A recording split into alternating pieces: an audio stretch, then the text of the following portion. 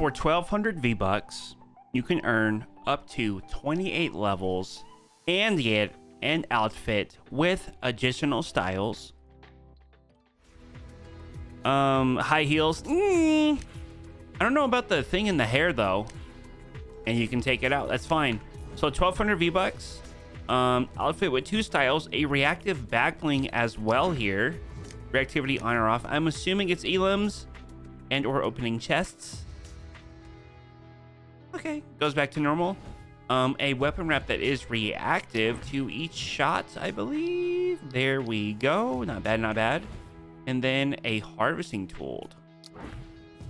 Okay, better have a great impact. That is cool. Reactive? It's reactive. Did it say reactive? I didn't see that. It should go back to a dark purple, maybe? There we go. It does not say it's reactive. Definitely reactive. Supporter creator PIZ0, Pizza with a zero. You know we're getting this. And we're going to get the back bling as well unlocked with the first seven quests. Yes! PIZ0, you already know. As I usually do, I will go into Team Rumble, use redeploy, pick up all seven of these tokens, and have the back bling unlocked.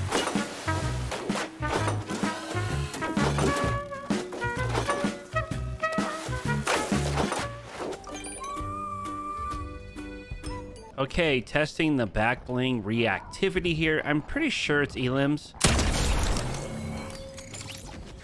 And there we go. Um, we're going to test receiving damage as well with my bot over here. Looks like it's getting elims, which is nice. Got a little bit of sound to it as well. It's very quick, but I'm okay with that reset. I don't want it to be too long for reactivity. I think it's fine.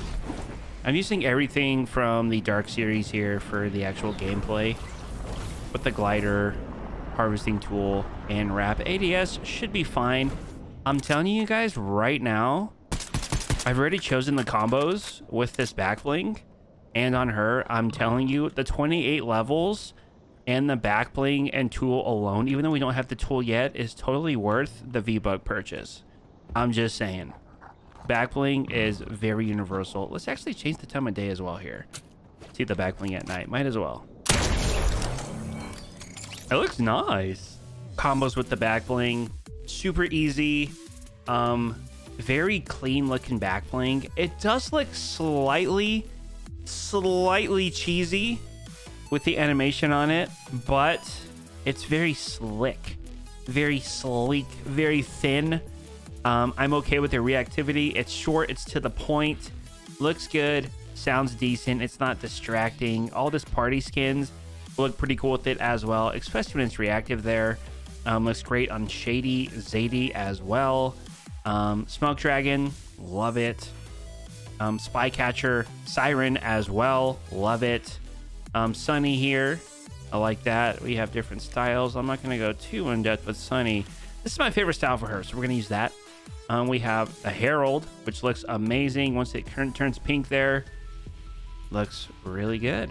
And then this is what it came with. So you can change the edit style for what's on her head. Um, for the gameplay, I had it on, but I think it looks a little better off personally. Now, combos with her, but keep in mind you can turn reactivity off if you don't want it to be reactive. I think reactivity is fine though. Like, I don't have a problem with it here. We have Dark Six String, looks good. We have um, Oni's Curse, which looks great, fully reactive. High Caliber, original style. The Shackled Stone. The Cubic Thorn as well here. The Dread Shield, um, a little too aggressive personally. This looks pretty cool.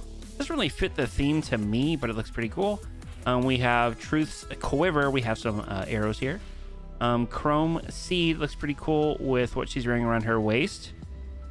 And she does have other accents of silver on her, so I think it's okay. Um, Crystal Spirit goes on so many things. And then lastly, the Glass Wings.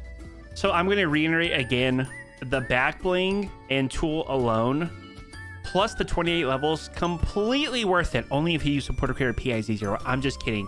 Thank you guys for watching. We'll see you on the live stream. See ya.